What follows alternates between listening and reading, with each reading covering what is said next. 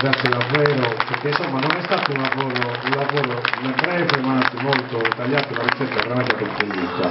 Ehm, passo subito il microfono a, a Gianluca Medas che eh, teatralmente insomma, ci eh, illustrerà quello che è la storia del Sabardana Studio. Grazie. Ben trovati. Immaginatevi Zio Peppe Dore, che tutti conoscete naturalmente, non personalmente, ma perché è un personaggio straordinario del paese. Immaginatevelo a Sagolta. Voi sapete che Zio Peppe Dore ha fatto la guerra dei mille, con i mille, tra i mille c'era anche lui. Ha fatto la seconda guerra di indipendenza, il re chiamava, viva il re, lui andava e combatteva. Poi tornava e raccontava le sue storie. Immaginatelo a Sagolta. Immaginatevi una sera come questa, a Suscuri Garrone, come in voi, un perfettore col tempo e comincia la sua storia con un gatto. L'ultima notte su mese aprile, su 1868, non vedo cazzato su cappotto e abbono la pettato su macchine.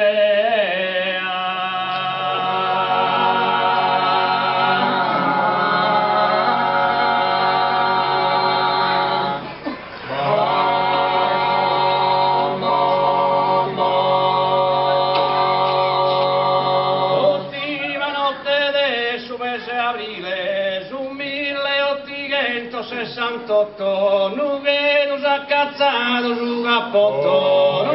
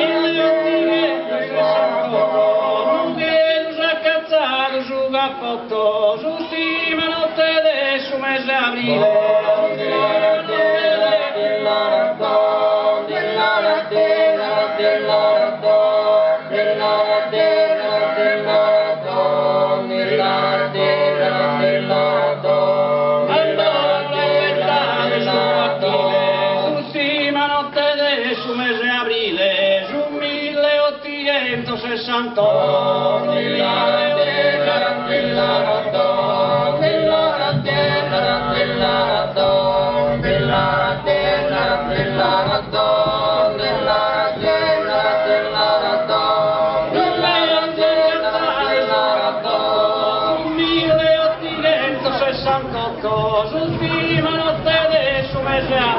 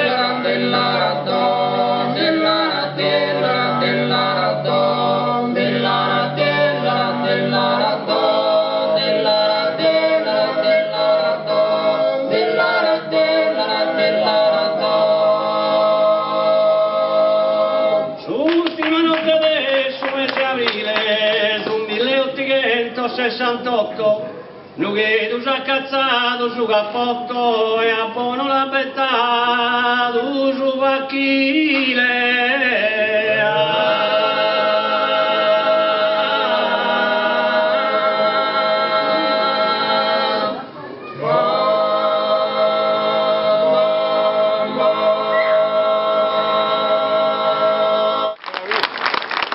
Dicevamo, quindi immaginatevi peggiore che comincia a raccontare la sua storia, la storia di cui lui è stato testimone e che quindi in qualche modo ci ha permesso di eh, conoscere.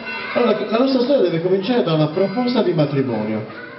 E oggi la proposta di matrimonio non è niente, perché oggi uno prende, molla, fa, disfa. Allora la proposta di matrimonio era una cosa seria, molto seria, cioè non si andava a scocciare una famiglia se non si aveva intenzioni serie. Questa serietà significava per sempre.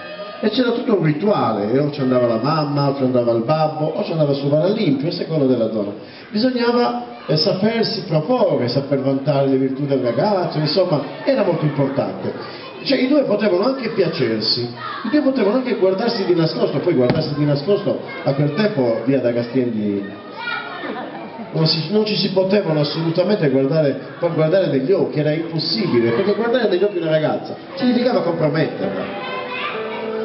E, e mia nonna e mio nonno mi raccontarono come si conobbero. Lui disse a lei, dopo tanto tempo, d'uscisi, e lei rispose, ehi. Ma non bastava. Non bastava perché bisognava avere il permesso dei genitori, cioè i genitori avrebbero dovuto dare il permesso e i genitori contavano. Cioè se un ragazzo aveva un asino e la ragazza ne aveva due, non c'era niente da fare. Potevano amarsi quanto volevano, ma non c'era niente da fare. Crocoliga. C'erano matrimoni riparatori, e allora lì si chiudevano 40 occhi, tutti chiudevano 40 occhi, ma tutti aprivano le bocche però. Chiudevano gli occhi e aprivano le bocche. E tutti raccontavano. Per esempio c'è un romanzo straordinario che vi inviterei a leggere, che è quello di Ritella di Panicato, della Resu, che racconta la storia della ragazza che non aveva babbo, non era stata riconosciuta dal suo babbo, quindi era la figlia di una donna chiamata una burda, veniva chiamata così, eh, che si innamora di uno ricco alla Musei, questo Daniele Pistis, e la famiglia di lui non gli dà il permesso di sposare, lui la ama lo stesso, lo disereda. È una storia incredibile, pazzesca, cose che succedevano allora. Oppure voi pensate a Elia Sportolo di Grazia Deledda, lui ama lei, ma lei è promessa a suo fratello. E quindi un macello, cioè il fidanzamento era una cosa seria. Pensate che la disamistade di Agius tra Ivasa e Mamia nasce perché un matrimonio viene, non trovo la parola in italiano, sciusciato, non trovo la parola in italiano, perdonate, viene rotto, spezzato. E questo genera una disamistade tale che dura sette anni e provoca 80 morti. 80 morti in sette anni ad Agius. Per un matrimonio, un fidanzamento rotto. Oltretutto, la donna che veniva, doveva essere la donna, secondo quello che era un tempo l'usanza, a rompere il fidanzamento. L'uomo non poteva farlo e la donna poteva farlo solo per validi motivi e se lo faceva l'uomo doveva pagarle un'indennità perché era compromessa. Doveva pagarlo. Beh, la nostra storia comincia con una proposta di matrimonio, ma è una proposta di matrimonio che ci fa pensare, perché vedete, a proporre, a proporre il matrimonio a questa ragazza che si chiamava Mariangela Fenumundula de Chichedda, per riconoscerli dagli altri, era un certo Leoni. Questo ragazzo si avvicinava a quella famiglia per un motivo ben preciso. Secondo quello che, secondo quello che dice il processo Barbaricino, quando ci sono delle diatribe fra famiglie, il matrimonio è una mossa giusta per poter fare la pace. E i Leoni, dopo anni di diatriba, da almeno 1830 almeno, con i Mundra, perché erano antichi, avevano i terreni vicini, pensavano che questo matrimonio di magari di risolvere un sacco di problemi. Ecco, questo ci fa pensare, questa proposta di matrimonio fra due famiglie che invece non erano amiche, un tentativo di avvicinarsi bambina, la ragazza, che era molto giovane, era stata promessa dalla vedova Mundula, vedova di Salvatore Fenu, a Giovanni Antonio Fiori. Era già promessa, non si poteva rompere il fidanzamento, era già fatto. Fidanzamento, rituale del fidanzamento, rituale del fidanzamento che si chiamava Sabrigunta. E voi ve lo ricordate il rituale del fidanzamento? C'è un'agnellina, cerco l'agnellina, l'ho smarrito pure un colombo, è volato qua, l'hai visto? No, non l'ho visto. Eh ma stai sta soffrendo molto, vorresti per favore? E lui non avrebbe voluto perché sapeva benissimo che cosa sarebbe successo. Anche se l'uomo era mascherato, anche se l'uomo aveva cercato di ucciderlo, eh, succedevano confusioni. Infatti lui dice, cerco di dirlo nella vostra variante, perdonatemi se sbaglio, sia io schido chi visi due non ti hai morto. Se io avevo scoperto che eri tu non ti avrei ucciso. Ma non perché non era giusto che lui si difendesse, ma perché aveva ucciso lui, un leone, quelli che stavano nel territorio di fronte, quelli che avevano sconfinato più volte, quelli che erano come erano. Non avrebbe voluto. Però lui, bisogna dire una cosa, Francesco Mundula Chicchetta aveva sposato una leone, Peppa Secchi Leone. Quindi i rapporti si fanno sempre più introvettausi. Comunque, a questo ragazzo gli viene detto nulla. La ragazza è promessa a Giovanni Antonio Fiori. L'abitudine era di sposarsi, non si sposavano tutti, io ho intervistato nella mia trasmissione sette fratelli, ricchissimi, non se n'è sposato uno. E sapete perché non si è sposato? Perché non volevano perdere su bene. E hanno rinunciato alla felicità e alla gioia dell'amore per non disperdere su bene. E quindi spesso nelle famiglie non tutti si sposavano, solo alcuni venivano scelti, venivano di tu per tutti. E quindi si sposavano tra di loro per non perdere su bene. Nughedo era ricco, l'ha detto Franco prima, era, era ricca e c'erano anche i poveri, dove ci sono i ricchi ci sono anche i poveri, non ci sarebbero i ricchi se non ci fossero i poveri, e non ci sarebbero i poveri se non ci fossero i ricchi, è una cosa che gira su se stessa all'infinito. Eh, tra l'altro devo dire una cosa che io penso che voi sappiate, Nughedu era, aveva il nome uguale a un altro paese si chiamava Nughedu. Quando lui dice dove vado? A Nughedu, e dove? A Nughedu Nughedu, ma Nughedu Nughedu o Nughedu Nughedu? Nughedu, allora dice facciamo una cosa, nel 1863 si decide che Nughedu si chiama di San Nicolò, poi quel D dava fastidio e nel 1996 hanno tolto il D e diventa Nughedu San Nicolò, senza D, perché non è di San Nicolò ma della gente di Nughedu quindi era un errore. Quindi Nughedu era, aveva 1560 abitanti, c'erano molti proprietari, allevatori, c'erano avvocati, c'erano gente che sapeva scrivere. Dice è stata una cosa bellissima sulla gente che sapeva scrivere. Prima in Sardegna la parola aveva valore, bastava una castiata e un fuetto, e via da fuetto sentenziato. Quando la parola non valeva più niente sono arrivati i notai. E allora la parola è scritta su papere bullao. Allora era così e gli animali venivano venduti alla Francia. La Francia aveva rapporti commerciali molto forti con, con la Sardegna e qui a Nughedo avevano rapporti con la Francia era facile, Porto Torres, Marsiglia e, e così il rapporto. La Francia era ricca, l'Italia no. Allora l'Italia non era ricca, allora era povera e la Francia era ricca. E si prendevano questi marengos, li potete vedere, ce ne sono lì d'argento e d'oro, e poi c'è questo discorso, allora non si fidavano delle banche.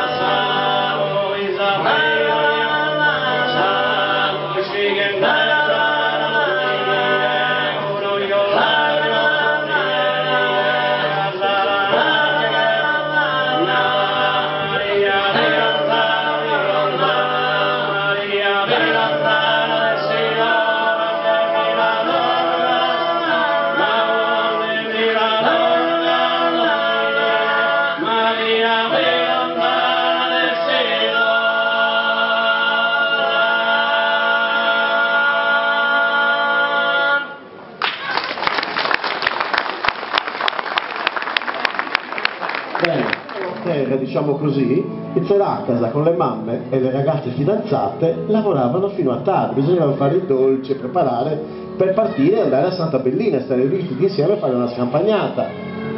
I ragazzi cosa facevano? La mattina lavoravano come matti e la sera si preparavano per le serenate.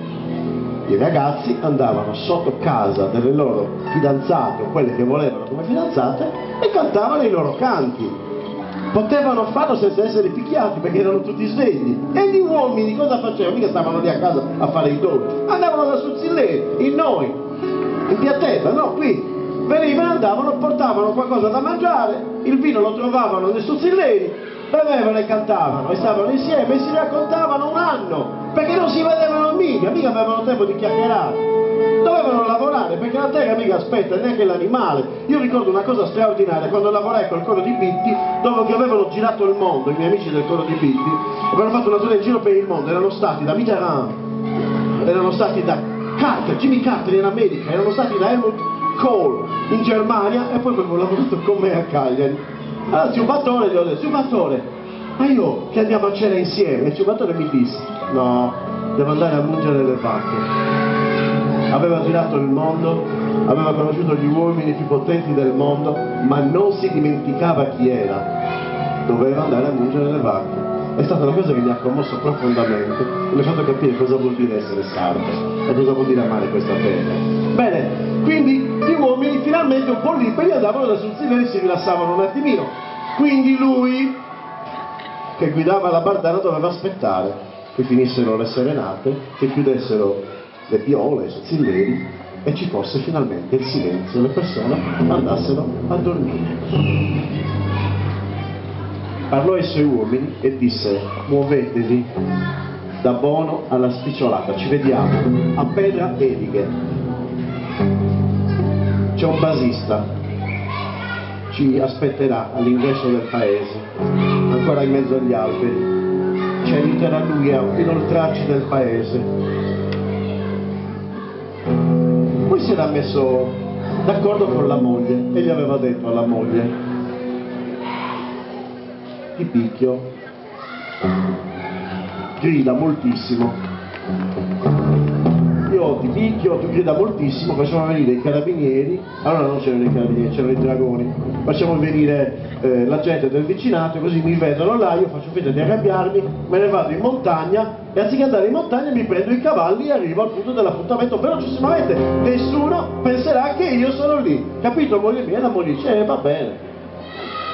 E si fa, tornano a Navassare Corpus, e vengono i dragoni, vengono i vicini, ma che succede? Che succede? Lui fa finta di arrabbiarsi, basta, mi sono scocciato, mi diandu! E se ne va, e corre veloce come il vento a Pedra Eliche, assieme ai cento polesi. I cavalli corrono, corrono, corrono, i pastori ad Alavina, in un'ala pinna dove stavano, in una pinnetta noi la chiamiamo, sentono questo cavallo che corre, corre, corre, e hanno, e hanno, e hanno l'immagine del cavallo del diavolo c'è una leggenda. Romi la votola o io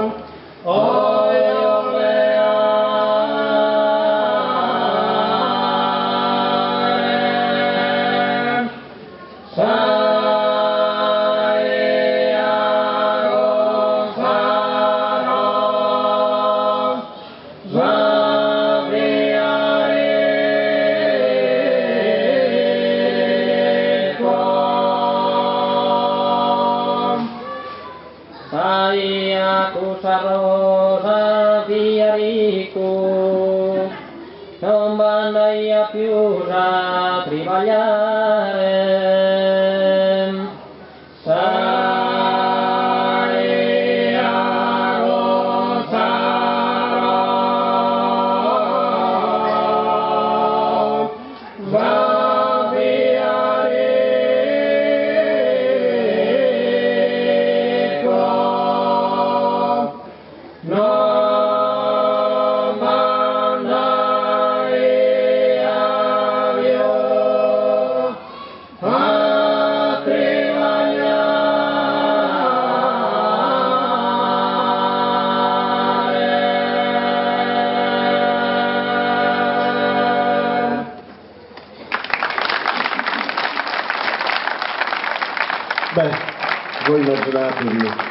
le serenate, pensate ai ragazzi di oggi che non abbiamo detto che è una donna quando la Nel frattempo loro, guidati da un uomo misterioso di cui non si sa il nome, una persona sicuramente del posto che sapeva come guidarli, perché questa diventa adesso una strategia da guerriglia urbana proprio, da questo momento in poi, è strategico tutto quanto, cioè Nuedo diventa un luogo dove ogni cosa è messa al suo posto per il controllo totale del territorio, se qualcuno esce lo freddano subito, quindi passano da Suado attraversano il ruscello che separa il paese in due, che sarebbe quello Rio sul Mulino, no? Rio del Mulino, ehm, e arrivano finalmente qui a Casa Mundula, dove siamo adesso.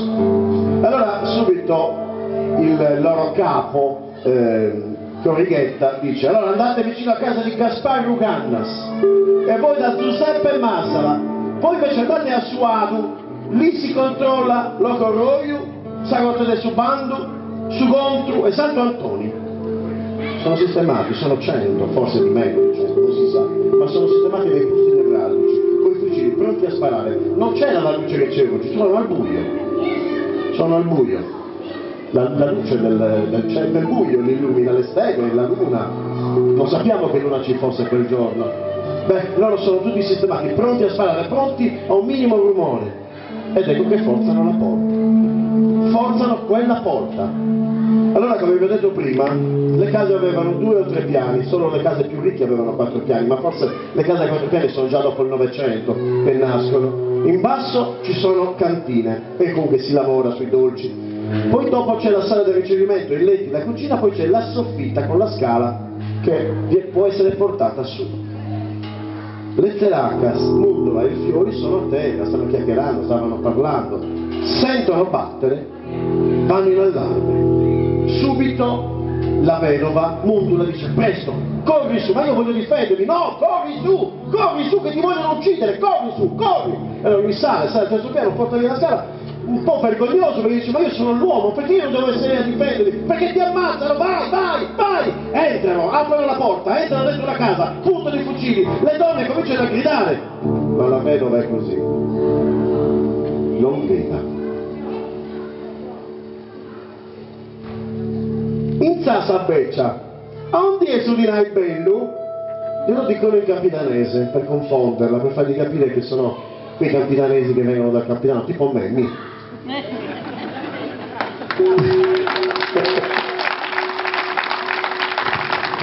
A un die su, sussidato, eh? Ma era tosta, lui a Mondola. Quella non ha paura di nessuno guarda e non risponde. Hanno cercato di chiudere il cancello perché prima delle stanze da letto c'era un grande cancello che chiudeva perché avevano sempre paura di questo tipo di assalto. Ma non ci sono riusciti perché sono entrati velocemente e sono entrati dentro e li hanno portati su al primo piano. Quindi al piano terra non c'è più nessuno. Ed è in quel momento che ad Abruzzi lei che stava forse più lontano, arriva Francesco Mundula, chicchetta. Entra dentro, se ne accorgono. Sss. Vogliono che salga, lo vogliono freddare appena sale le scale. Ma in quel momento lui Scappa! Scappa! Scappa! Sono qua! Allora il Bonese cerca di sparare. E allora una delle donne, non si sa chi, si butta sulla casa del vicino e si brucia, ma riesce a deviare il colpo, non lo ammazzano. Comincia la sparatoria. Una delle sorelle della promessa sposa esce con un fucile, comincia a sparare. Spara, succede che c'è qua Giovanni Maria Mundula che stava lì proprio dietro di voi con la moglie Puntino Teodora che ripassava i fucili man mano che si scaricava cominciano a sparare. Questi sono da tutte le parti presto sparate ma al buio non si vedeva si vedeva una luce che si accendeva del fucile quando sparava e lì c'era dipinta una finestra finta. E loro pretendevano di dire quella, fine- quella finestra che non esisteva perché era dipinta non c'era niente. E quindi non c'era niente ed erano presi da, da Francesco e dalla sorella della promessa sposa da lì da quella parte. Quelli che sparavano da quella parte quelli che cercavano di difendere cercano di scappare ma non ci riescono non lo vedono. I polesi fuggono. Corrighetta esce ferito, mortalmente. Va verso la fontana da quella parte, ma qualcuno lo trova, è moribondo, lo porta indietro, lo porta lì, dove c'era la bettola di zia Lisari, lo legano all'inferriata, qui in piattella, e lì lo trova.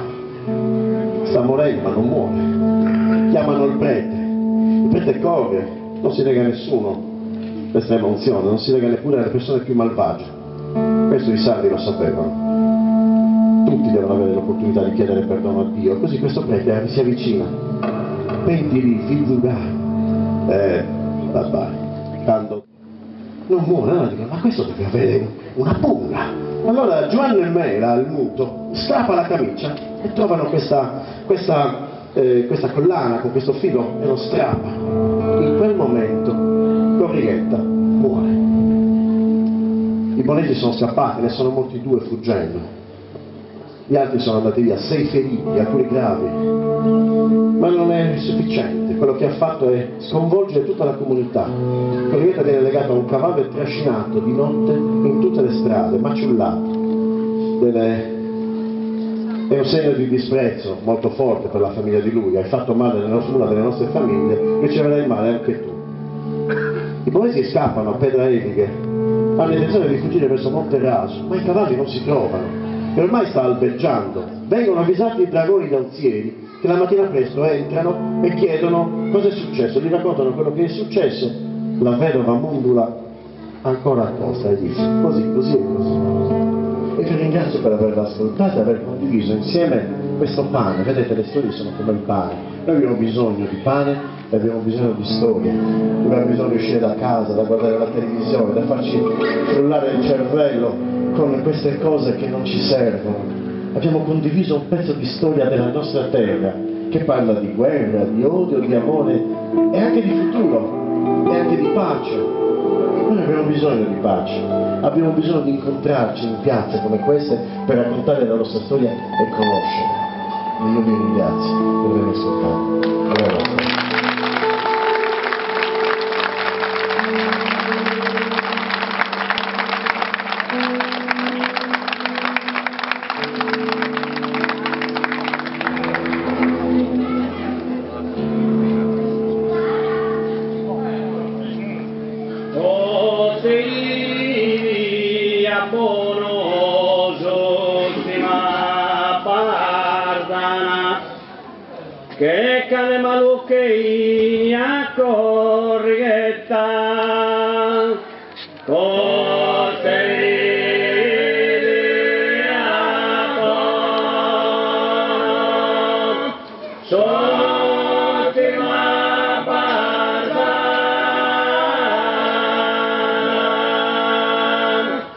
Che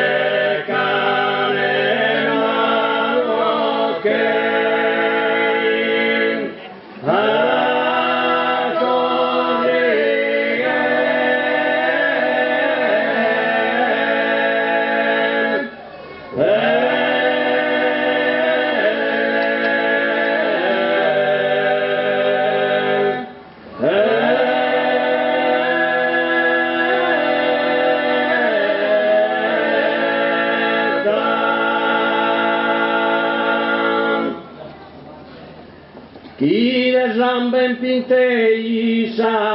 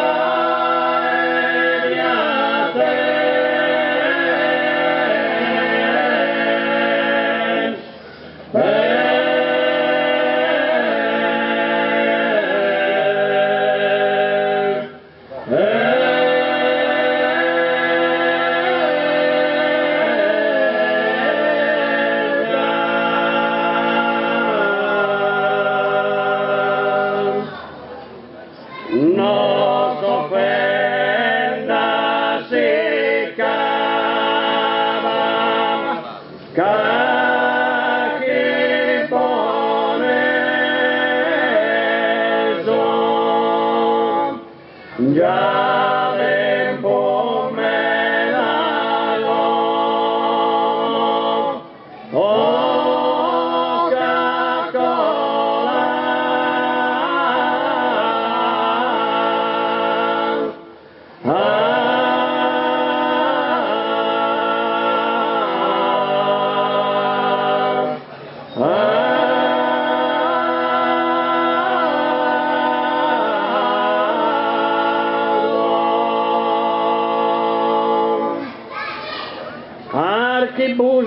Archibusos e